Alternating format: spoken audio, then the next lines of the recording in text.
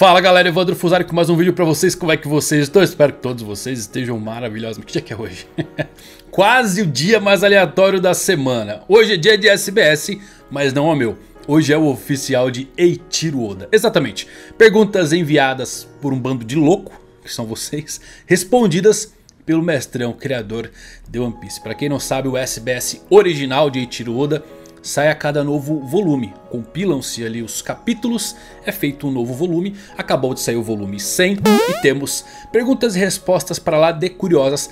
Eu fiz ontem um vídeo sobre os cartões Vivrecards, que são databooks em formatos de cartões, ficou enorme o vídeo, tive até que cortar algumas partes e eu vou complementar nesse vídeo porque o SBS tem informações bem legais, mas foi um tanto quanto curto outras perguntas meio aleatórias que as pessoas mandam. Então vou complementar aqui com algumas infos do Vivrecard de ontem, inclusive da One Piece Magazine também, que desenhou umas coisas bem interessantes. Podemos até começar com a One Piece Magazine, que desenhou a fruta do Dalton e a do Crocodile. Olha que maravilha. A fruta do Dalton é uma fruta do, do boi, do touro, do gado. Gostei, mas a do Crocodile é simplesmente demais esse visual de cacto. Como é que o Crocodile conseguiu comer a Suna Sunonomi. Eu achei simplesmente incrível o visual desta fruta. Infelizmente não apareceu na série. E aí o Oda nos brindou agora com esse visual na One Piece Magazine.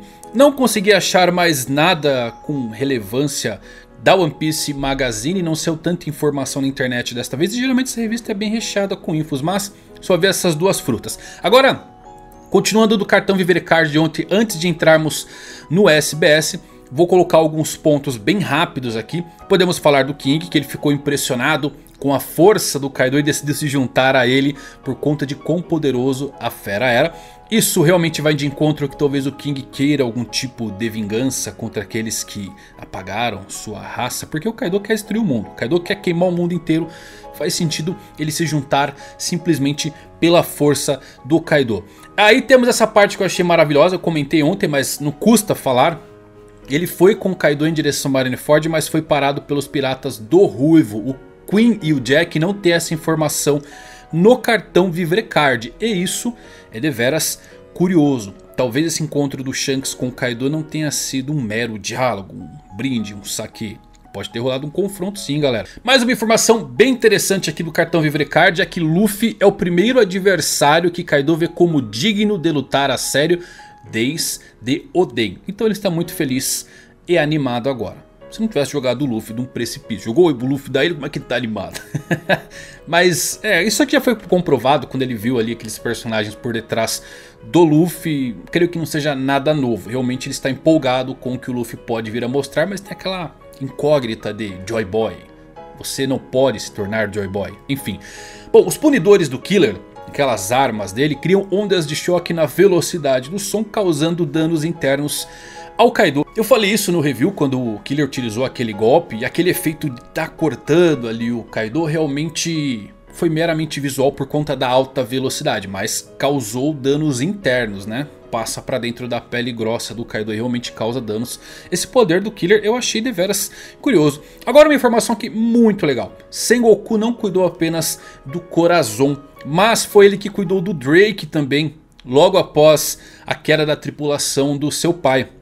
Se lembram que aparece o Lau pequenininho no navio e tem uma criança? Aquele é o Drake. E tinha essa dúvida de quem tinha pego o Drake. Eu sempre achei que fosse a Tsuru, porque né, ela estava ali. Mas a Tsuru também ajudou, com toda certeza.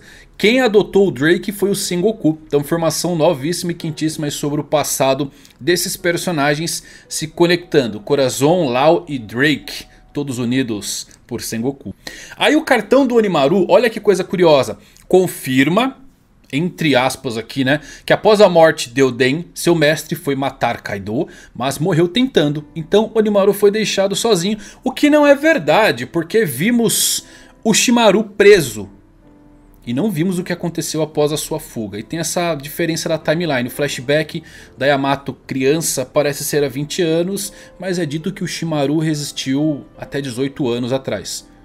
Tá meio estranho que não tá batendo algumas informações sobre a queda de Ushimaru. O cartão confirma que ele morreu tentando após a queda de Oden, mas não é o que diz o flashback de Yamato. Ele estava vivo ali e depois não vimos realmente o desfecho de como foi esse confronto.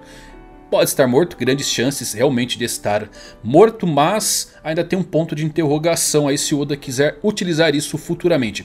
E também confirma aqui no Vivercard que as algemas de Yamato tinha Kairoseki. Só que Yamato mais velho, Yamato criança não. Porque o Shimaru cortou igual manteiga aquelas algemas quando ela era criança.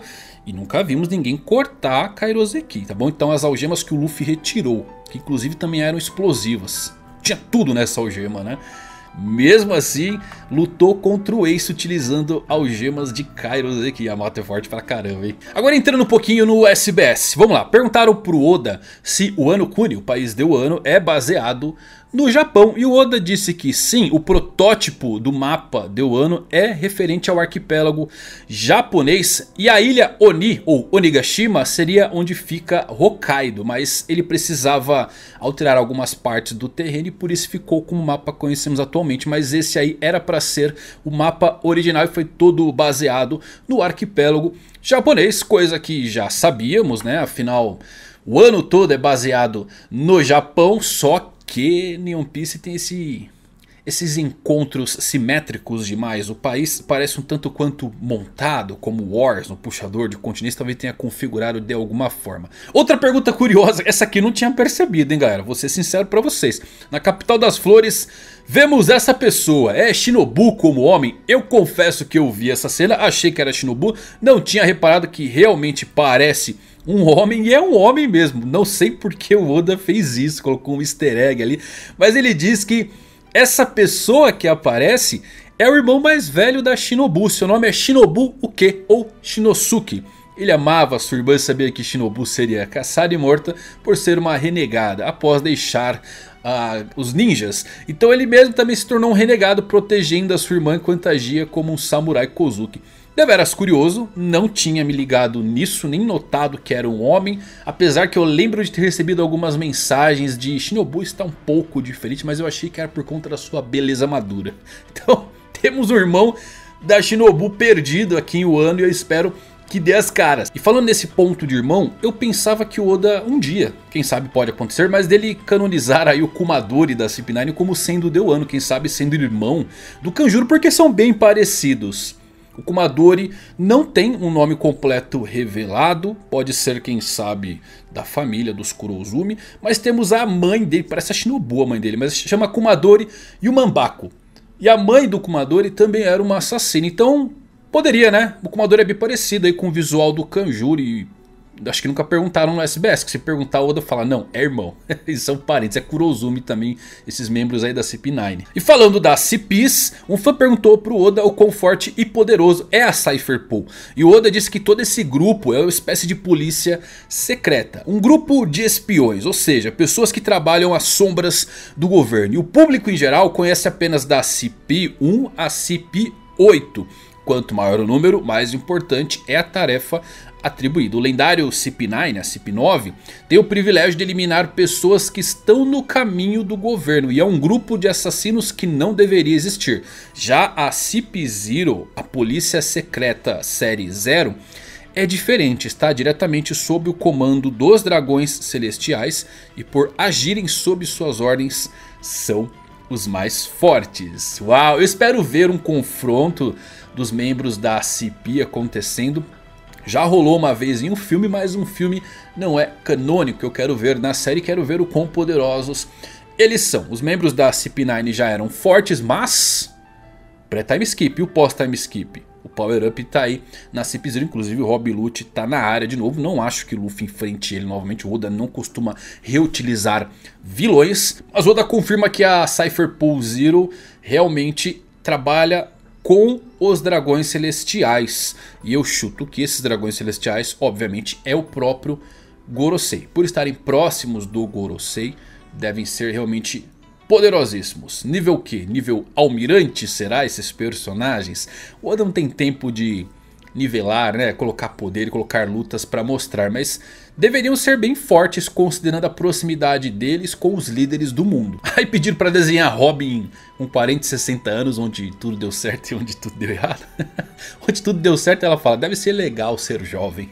Com 60 anos você vai se juntar a mim para investigar algo? Então ela continua sendo uma arqueóloga e investigando as coisas. Agora quando tudo dá errado na vida dela, 40 anos, meus livros! Eu joguei todos eles fora. 60 anos, aquele garoto quanto você quer por ele. Nossa senhora, Robin virou tipo uma Madre Carmel com 60 anos. É muito legal essas versões que o Oda faz dos personagens. Ele já fez de grande parte dos Chapéus de Palha. Eu espero que ele continue até pra fora da tripulação do Luffy. Fazendo com o Kid, fazendo com o Lau. Seria deveras curioso, mas tá aí a Robin quando tudo deu certo e quando tudo deu errado na sua vida. Aí alguém finalmente perguntou pro Oda...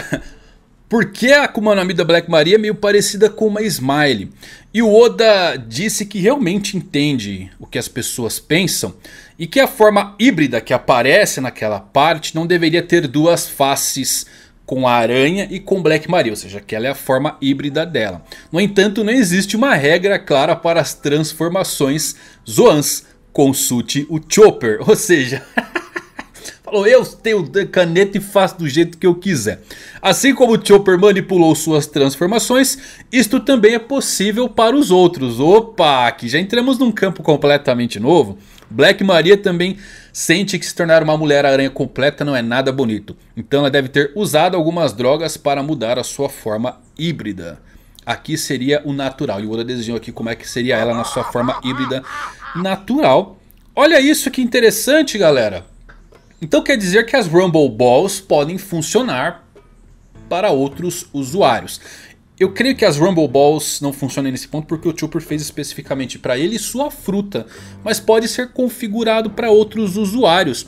E foi isso que o Oda explicou aqui, essa forma maluca da Black Maria. Que ela tomou drogas e conseguiu... tomou drogas, né? Igual o Zoro, tem que chamar Proerd pra essa galera aí. Ela tomou, tomou uns venenos aí, uns uns anabolizantes, uns asteroides, né? Tomou os asteroides e ficou com essa forma maluca que parece uma Smile. Curioso isso. Ainda acho que as Rumble Balls não afetam outros usuários, mas o Chopper pode configurá-las para fazer funcionar em qualquer um. Ou seja, o Chopper pode realmente ter um exército de grandíssimos aliados Zoan. Claro, se entrar um Zoan no bando, como quem? Como Yamato. Yamato tem uma Zoan poderosa, divindade guardiã. Eu não acho que Yamato seja um membro oficial dos Chapéus de Palha mas temporário. Yamato pode entrar como temporário. E o, mas o Chopper também não usaria, Oda não usaria. Ele só usou isso aí para explicar porque que a Black Maria é diferente. Ele queria desenhar ela bonitona e mantendo aquela face da aranha. Mesmo assim, tomara que ele explore um pouquinho mais sobre quem forneceu esses remédios para Black Maria alcançar essa transformação. O único personagem dentro do Wano é o Queen ou o Caesar de alguma forma conseguiu entregar isso ali dentro de um ano. Agora essa pergunta aqui é legal, perguntaram pro Oda sobre a arma do Kaido, se ela tem um nome e um grau. E o Oda até desenhou ela a versão humana aqui. Aí o Oda disse o seguinte, o nome da arma é Hasai Kai, uma referência aos oito mandamentos do budismo que combina com os oito trigramas, né? o trovão de oito trigramas que é o Haimei Haken. Então a, a arma se chama Hasai Kai, não tem ranking, não tem grau, ou seja, não é uma das 12 lendárias, mas essa a, a fala final do daqui, mas se Kaido deixar para trás, também vai ser chamada de arma lendária. Uau, então quer dizer que o Kaido vai... Pode ser uma dica de que realmente o Kaido abandone essa arma. Porque ele vai encontrar o que ele quer, ele vai morrer de alguma forma? Muitas perguntas, poucas respostas. E as respostas do Oda geralmente aqui são coisas que ele deixa dicas para a obra. A arma não tem rank, mas se Kaido deixar para trás, também vai ser chamada de lendária. Eu gostei disso aqui, gostei mesmo.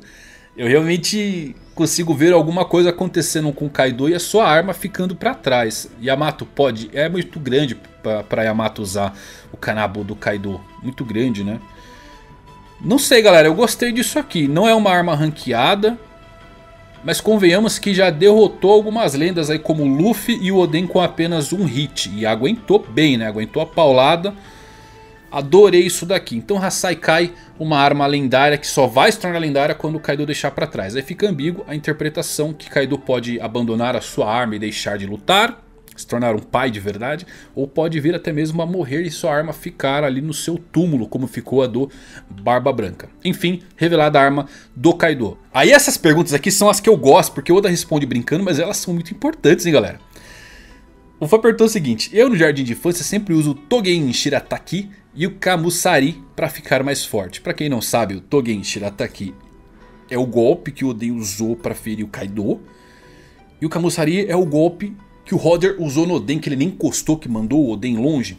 E o Oda respondeu assim, uau, pegue leve com o Haki do Conquistador. Ou seja, são golpes imbuídos com o Haki do Conquistador. O do Oden tinha Haki do Conquistador. Aí você para por um minuto para pensar quem feriu o Kaido. O Zoro. Com o seu Azura. E o Kaido flerta falou, ó, oh, você tem Haki do Rei? Então sim, meus amigos. O Azura tem Haki do Rei, mas confirmado, porque os dois golpes aqui utilizam o Haki do Conquistador. Eu adoro quando Oda responde dessa forma. Aí um pouquinho, indo um pouquinho mais longe, vamos lá. O Togen Shirataki, golpe que feriu o Kaido, Haki do Rei, beleza. O Zoro também feriu o Kaido da mesma forma, o Kaido ainda perguntou se ele tinha. Tem que ter para conseguir ferir. Então foi Haki do Rei. E temos o Kamusari, que é o golpe do Roger, que é um completo absurdo. Mandou o Oden... Ah, sabe o que, que tá faltando agora, galera? O Luffy precisa de um golpe novo nomeado utilizando o Haki do Rei. E se você lembrar bem, logo quando o Luffy é derrotado, que ele cai da ilha de Onigashima, o Kaido ele tira sarro, ele brinca com o Luffy. Ele fala Gomu Gomu o quê? Tipo, tirando sarro. Que Gomu Gomu é esse que você vai usar? Esse golpe que o Kaido tirou sarro é certamente o golpe nomeado do Luffy com revestimento do Haki do Rei. Podem apostar e o Luffy vai usar nessa luta aí. Pode ser no G5, pode ser em uma forma do G4, enfim. Mas sim, o Gomu Gomu que o Kaido tirou sarro, o Gomu Gomu que é o golpe nomeado do Luffy, poderosíssimo, nível Togen Shirataki e Kamusari de Roger, Deoden e Azura do Zoro. Golpe nomeado, revestido com o Haki do Rei. Simplesmente fantástico, né? E é isso, galera. Essas são as perguntas do SBS. Fora isso, não tivemos muitas informações, mas mesmo assim, algumas coisas bem legais sendo apresentadas. Eu espero que você tenha gostado desse vídeo, se divertido. Se você gostou, deixa o like. Até a próxima. Valeu por assistir.